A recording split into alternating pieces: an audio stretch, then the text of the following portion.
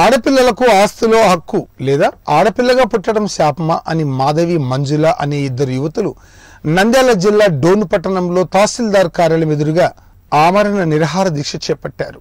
డోను మండలం చిన్న మల్కాపురం గ్రామానికి చెందిన రామకృష్ణ మద్దయ్య ఇద్దరు అన్నదమ్ములు. రామకృష్ణకు ఇద్దరు కూతుళ్ళు మాధవి మంజుల. వీరి తల్లి శివమ్మ పదకొండు సంవత్సరాల క్రితం అనారోగ్యంతో మరణించింది. రామకృష్ణ మరో వివాహం చేసుకున్నాడు.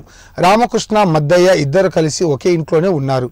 వీరిని సరిగా చూసుకోకపోవడంతో ఇంటి నుంచి బయటికి వచ్చేసి మాధవి కష్టపడి తన చెల్లెల్ని బీటెక్ చదివించింది. విద్యాభ్యాసం అనంతరం మంజుల అసిస్టెంట్ ఇంజనీర్గా ఉద్యోగం సాధించింది. ఈ అక్కా చెల్లెళ్ళు ఇప్పుడు తండ్రి వద్దకు వెళ్ళి తమకు సంబంధించిన ఆస్తిలో వాటడిగితే తండ్రి రామకృష్ణ చిన్నాన్న మద్దయ్య కొట్టి ఇంటి నుంచి తరిమేశారు. వీరు కలెక్టర్ మరియు ఎస్పీకి ఫిర్యాదు చేసినా మాకు న్యాయం జరగలేదని కన్నీరు పరిమితమయ్యారు మాకు దాదాపు నలభై ఎకరాల పొలం అరవై సెంట్ల స్థలం పది ఇండ్లు ఉన్నాయని మాధవ్ తెలిపారు. ఆడపిల్లలకు ఆస్తుల హక్కు లేదా ఇవన్నీ కాగితాలకే పరిమితమా అంటూ వారు వాపోయారు. ఎక్కడికి వెళ్ళినా తమకు న్యాయం జరగలేదని ఇద్దరు అక్క చెల్లెండ్లు నేడు డోన్ తహసీల్దార్ కార్యాలయం ఎదుట ఆమరణ నిరహార దీక్ష చేపట్టారు.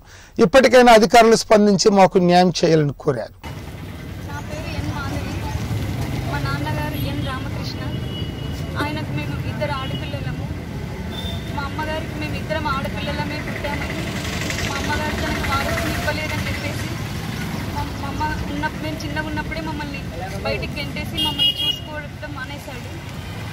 మా అమ్మగారు టూ థౌజండ్ లెవెన్లో బ్లడ్ క్యాన్సర్తో చనిపోయారు. అప్పటి నుంచి కూడా మేము బయట హాస్టల్లో ఉంటూ బ్రతుకుతూ చిన్న చిన్న పని చేసుకుంటూ ఉండేవాళ్ళము.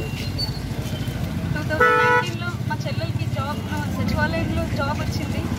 జాబ్ వచ్చిందని మేము ఆదోనికి వెళ్ళి అక్కడ బ్రతుకుతుండగా మా నాన్న మా చిన్నాన్న మా పెద్దల ఆస్తి మొత్తం మాకు తెలియకుండగా మాకు చెప్పకుండగా ప్రాపర్టీని అమ్ముకుంటూ చేస్తున్నారని మాకు విషయం తెలియగానే మేము వచ్చి అడగ్గా మీరు ఆడపిల్లలు మీకు ఎటువంటి హక్కు లేదు మీరు మా వారసులు కాదు అని మమ్మల్ని వెలివేశారు.